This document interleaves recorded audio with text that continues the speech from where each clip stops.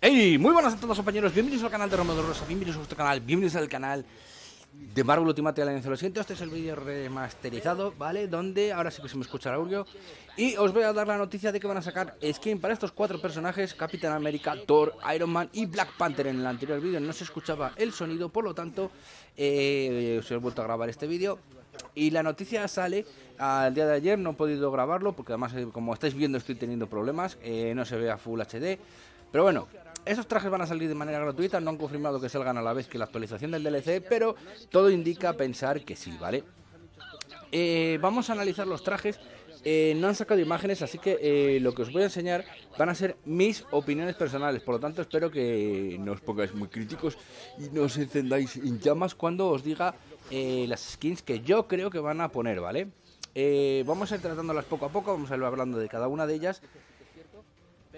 Eh, así que, ya os digo, de fondo estaréis escuchando el vídeo, pero es porque no me ha quedado más remedio que, ponerme el vídeo original, ¿vale?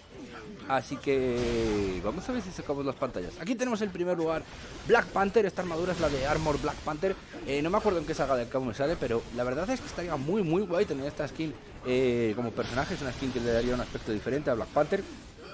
Lo cual molaría muchísimo, ¿vale? No es mi primera opción, mi primera opción sería eh, la skin clásica de Black Panther para que un poco, pues la gente eh, lo tenemos un poco estereotipado con, eh, el tema de, las películas.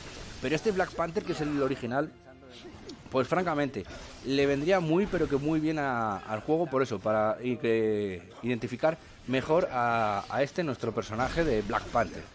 Así que yo me decantaría por la opción clásica, ¿vale? Pero bueno, vosotros ponedme en comentarios cuál creéis que es la mejor opción para Black Panther, compañeros. El siguiente que tenemos es Thor, con este King Thor, el Rey Thor, eh, el cual lo hemos visto en Thor Ragnarok, hizo pequeños guiños, ¿vale? Ya empezó a aparecer en, Infinity War, cuando ya consiguió el Stonebreaker, y ya se convirtió en este King Thor. También podríamos hablar de las versiones femeninas, tanto de Quinto, o sea, de Thor, como de Black Panther, como de Iron Man, como de de, todos los personajes tienen su versión femenina, ¿vale? Pero yo creo que la mejor opción sería eh, King Thor, por la sencilla razón de que cambiarle el Stonebreaker, por, eh, o sea, poner el Stonebreaker en el lugar del Mjolnir, eh, le daría un aspecto de que la gente lo quisiera tener, porque francamente Thor lo único que le cambia en muchos de los aspectos eh, es simplemente la capa y el casco, ¿vale? Este King Thor, pues por ejemplo, pues, al tener ese Stonebreaker le daría el toque suficiente como para decir, oye, pues yo quiero este personaje, ¿sabes? Pero bueno, ya os digo, también tenemos la versión de Valkyria, tenemos la versión de, de, la otra, no me acuerdo cómo se llama ahora mismo, pero bueno, compañeros, disculpadme. Pero tenemos la versión femenina, ya os digo, de los cuatro personajes. Eh, bueno, todos los personajes de Marvel tienen su versión femenina.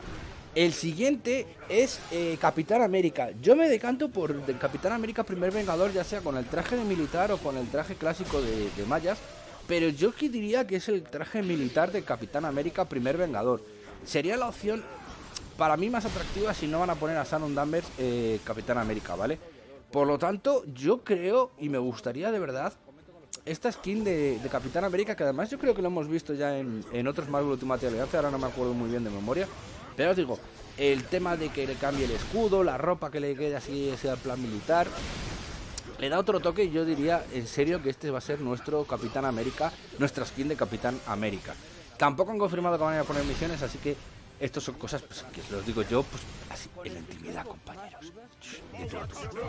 El siguiente personaje y último, que aquí la verdad podéis explayaros todo lo que queráis porque hay mil millones de combinaciones para hablar de Iron Man y de sus mil millones de Mark.